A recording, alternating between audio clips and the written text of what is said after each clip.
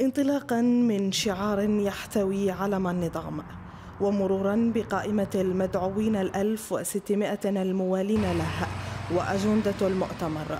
تحاول روسيا أن تدب الروح في جسد مؤتمر أطلقت عليه الحوار السوري واعتبره سوريون مجلسا لمصفقي الأسد لكن ليس في دمشق بل بمنتجع سوتشي جنوب روسيا.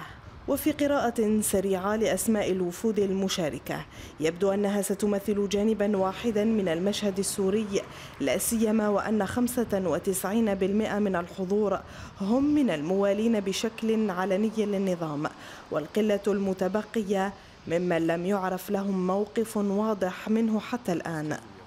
يبدو أن جمع القوى المشاركة في هذا الحدث لن يكتمل كما كانت تريده موسكو فاصطدمت مساعيها بموقف معظم قوى المعارضة التي أعلنت مقاطعتها.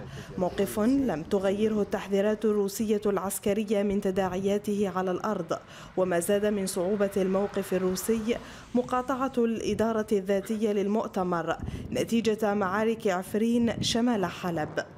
أعمال المؤتمر تنطلق باجتماعات تنظيمية مع الوفود بشكل منفصل تحضيرا للحوار العام لمناقشة مسودة البيان الختامي والمتضمنة 12 بندا قريبة من تلك التي قدمها المبعوث الدولي إلى سوريا ستيفن ديمستورا سابقا والمتعلقة بالدستور والانتخابات على أن ينتهي الحوار بالتصويت عليه وتبنيه لاستخدامه لاحقا كركيزة أساسية في جنيف. وحتى تتواءم مخرجات مؤتمر سوتشي مع ما تشتهيه موسكو فقد ساغت وثيقة له تنص على ضرورة تشكيل جيش وطني يعمل بموجب الدستور وأن تلتزم أجهزة الأمن بالقانون وحقوق الإنسان وتوفير تمثيل عادل لسلطات الإدارة الذاتية.